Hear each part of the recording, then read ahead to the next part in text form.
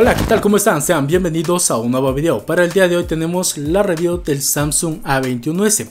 Este es un teléfono que está construido en su totalidad en plástico. Tenemos unas dimensiones de 16,3 centímetros de alto, 7,5 centímetros de ancho y 8,9 milímetros de grosor. Todo esto en un peso de 192 gramos. Es un teléfono algo alto, pero fácil de llevar en la mano.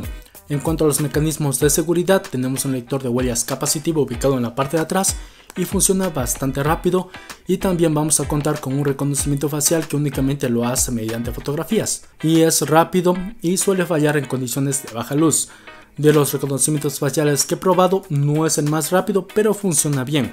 Ahora si pasamos a hablar del rendimiento, aquí tenemos al Exynos 850 construido en una arquitectura de 8 nanómetros, lo cual quiere decir que es un procesador moderno y también hace una buena gestión energética como ya lo pudimos ver. En cuanto a las versiones viene de 3.32 y 4.64. Para mi desgracia tengo la de 3.32 y no lo recomiendo ya que se llena muy rápido. Lo usé como teléfono personal una semana y en esa semana se me llenó los 32 GB. Eso también dependerá el usuario que seas. Este teléfono, al menos la versión base, está pensada para una persona que únicamente quiera redes sociales, lo básico y tomar fotografías y almacenarlos en la tarjeta microSD ya que esta sí es ampliable mediante esas tarjetas. Pero para un usuario gaming que quiere instalarse un montón de cosas, no, 32 GB en 2020 no es recomendable para nadie. ¿Y cuál es el rendimiento que tenemos en juego? Pese a decir que este teléfono no es gaming, si alguien se lo compra y quiere ver cuál es la configuración gráfica, pues en juegos como PUG Mobile, gráficos en HD la tasa de cuadros por segundo en alta y si bajamos los gráficos equilibrado, la tasa de cuadros por segundo en ultra. Es la misma configuración gráfica que podríamos encontrar en este Mi Note 10 Lite, pero ojo, no es que tengan la misma potencia ni el mismo rendimiento en el juego ya que a pesar de tener esa configuración gráfica la experiencia es mala. Hay muchos tirones y caídas de frames, entonces no, no es un teléfono que te aconseje comprar para jugar. Si únicamente vas a jugar un juego casual que no requiere una gráfica muy demandante, como un Candy Crush o un Rune Temple 2, va a estar bastante bien, o incluso un Free Fire lo corre bien, pero en juegos como Ark tampoco no es recomendable. En Call of Duty la experiencia es más o menos, ya que Call of Duty sí está muy bien optimizado, pero aún así con los 32 GB no lo recomiendo, al menos que te lo compres el de 4,64. Ahora sí pasamos a hablar del software. Este teléfono cuenta con One UI bajo Android 10 y tenemos algunas novedades como también tenemos el Game Launcher, el lanzador, tenemos los gestos de Samsung, no tenemos un modo noche curioso aquí que sí le hace falta a la cámara.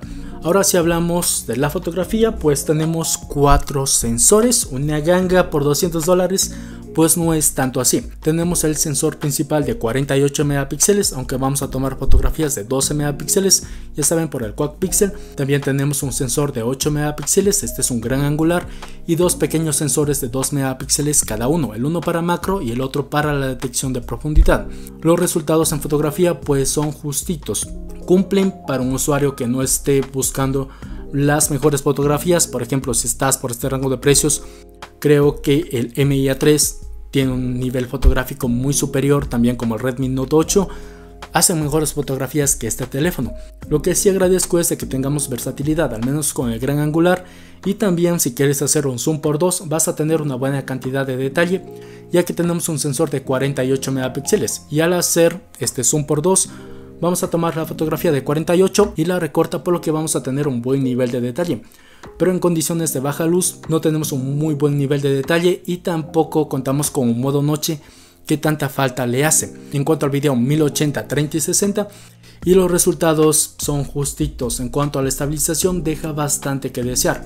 Lo que sí que me ha gustado bastante es la cámara frontal de 13 megapíxeles y nos da unos muy buenos resultados. También el angular es bastante amplio. La cámara frontal creo que es lo mejor de este teléfono y también nos permite grabar a 1080 30 fotogramas. Recuerda si te está gustando este video te puedes suscribir al canal y activar la campana de notificaciones para que no te pierdas nuevo contenido que estemos subiendo. Ahora pasemos a hablar de la pantalla, quizás aquí es la mayor decepción que he tenido. Contamos con una pantalla de 6,5 pulgadas y esta es una TFT. También tenemos una resolución únicamente de 720 por la propia tecnología de la pantalla, es una pantalla realmente mala. Es el segundo Samsung que veo con una pantalla muy mala, no había visto una pantalla tan mala como fue desde el J7 Prime. Fue un Samsung que tenía una pantalla mala.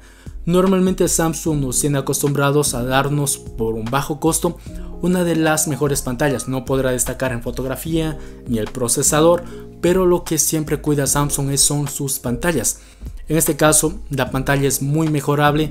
Tenemos una pantalla un poco fría, no tiene buenos ángulos de visión, la representación de color es mala. Entonces, en temas de pantalla, no es nada buena.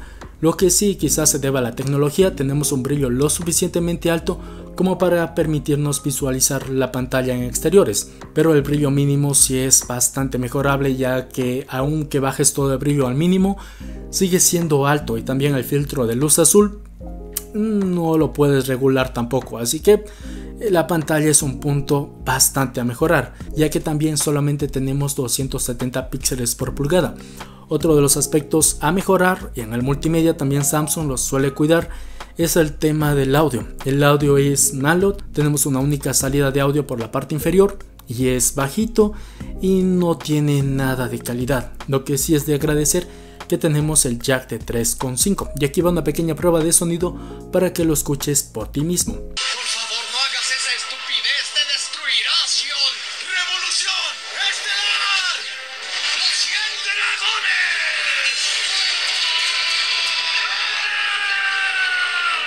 En cuanto a conectividad, este teléfono cuenta con Bluetooth 5.0, tenemos la posibilidad de usar un Dual SIM, también el teléfono en Ecuador se encuentra homologado y no tenemos NFC. En algunos casos, algunas versiones que se comercializan sobre todo en Europa me parece, sí tienen NFC, pero la versión, al menos la que tengo aquí, no tiene NFC. Y bueno, al menos vamos a contar con radio FM. También tenemos Wi-Fi de doble banda y en temas de conectividad poca cosa le falta, el NFC aún en Latinoamérica no se usa tanto y ahora llegó momento de hablar de lo bueno y lo malo de este teléfono. En lo bueno he decidido seleccionar la cámara frontal, creo que hace un muy buen trabajo incluso por ese rango de precios, un angular bastante bueno, la representación de colores bueno y sobre todo el rango dinámico me ha gustado.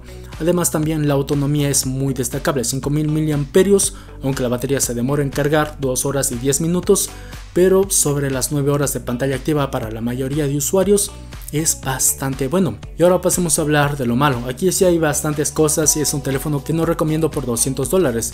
Primeramente la pantalla. La pantalla es muy mejorable, tiene malos ángulos de visión, la representación de color es mala, es una pantalla que no esperarías encontrar en un Samsung por este rango de precios.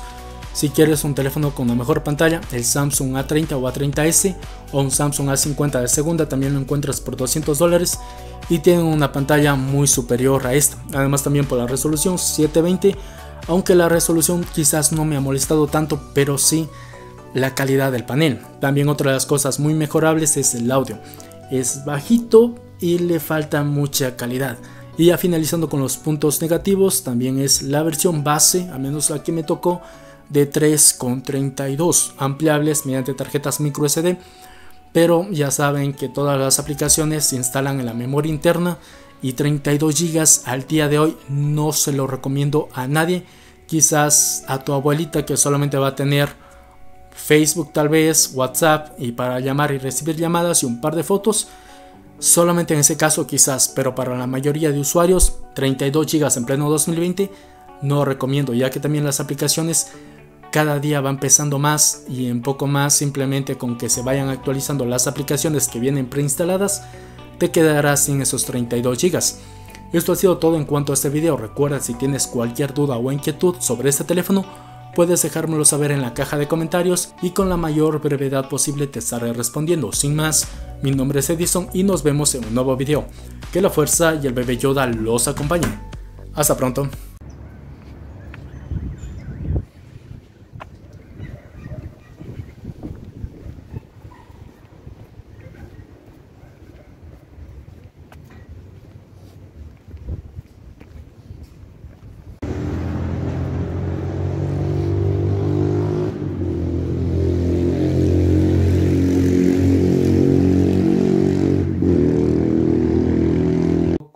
Samsung A21S, grabando únicamente a 1080 30 fotogramas con la cámara principal.